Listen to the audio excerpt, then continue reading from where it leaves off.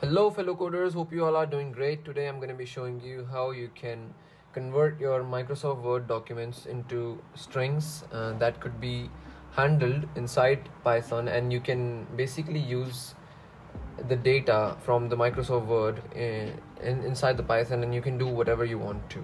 Like if you want to process something with it or you want to you know work on that data you can without actually you know manually copy pasting all the data from a word document.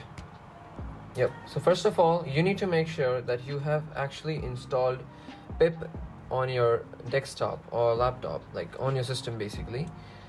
And you can check uh, check it by writing the command pip in this command prompt and then you will be able to see that uh, it just throws up some output. That means uh, it's actually installed in your in your system. And then we're going to run this command pip install python docx. And docx is just the library that we are going to be using in order to process the documents and uh, basically convert them into strings that uh, again could be used inside python in order to uh, do different kind of uh, functions on them or operations on them and now once we have installed the library we're gonna go ahead and create one document like this like docx.py python. And also we're just going to create a new test document like the word document. So I've created this test.docx so the next step is we're going to import docx. We're gonna write import docx and I'm just gonna show you that it is actually working. Look there it's not throwing any errors. That means you have already installed docx in the Python's um, library management system. Now I'm actually going to refer to the Python's documentation for it the Python docx documentation. Again you can find these links in the description box. And uh, you can just go ahead and check the Python documentations for it it explains everything about the docx library and uh, if there's any other function that you might want to use for any other thing than that I'm going to show in the video. You can definitely go ahead and refer to the docs. I'm going to refer to this uh, article that they have written over here. And uh, I'm just gonna show you the code that we are going to be using over here. So we don't have to go through the whole documentation and uh, just uh, go ahead and fig figure out and how we can just get the text from a dot, docx file. Again if the work has already been done we don't have to like redo it ourselves and then i mean we don't have to go ahead and read all the documentation and stuff for it. So you can clearly see that there are different uh, lines of codes over here. Number one we are having doc equal to docx dot document and then we have the file name. Whatever file name that we are going to be having we just have to mention uh, we, we are going to pass it inside that uh, function the get text function. So docx.document is just going to initiate an object for it and then we are having an empty array initialization that is full text equal to empty array. Note that they have used camel case writing in full text. Okay so that is something uh, we can use or uh, we can avoid it as well. We can use the underscore between the full full and the text in order to match the conventions but it's up to you because uh, the name of the variables and different containers could be like different data structures. It just depends on you. The next up we are having a for loop. And a for loop for para and doc dot paragraphs.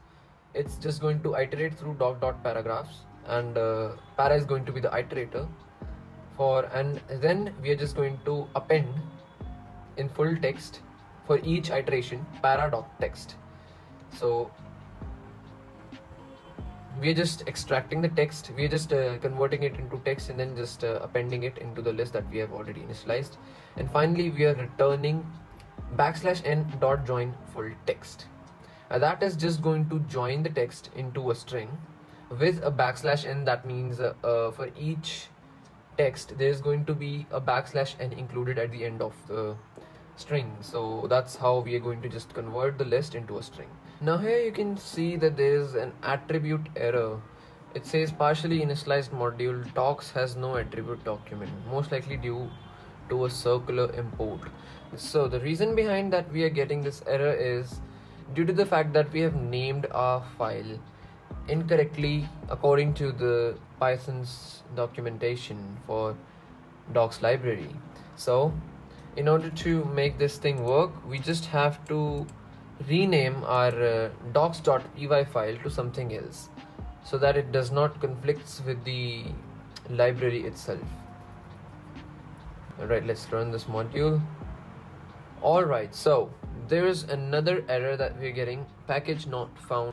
Now the reason behind this error is due to the fact that we have created the new docx by using the context menu and that is something that causes an error. So it's actually a bug or you can say it's like uh, something that is happening due to if we are if we are creating the file by going inside the context menu and then clicking to the clicking on the new option and then create new docx file. So if we are creating a docx file with the help of the new option in the context menu we're going to get so we're going to create it with the help of save as option and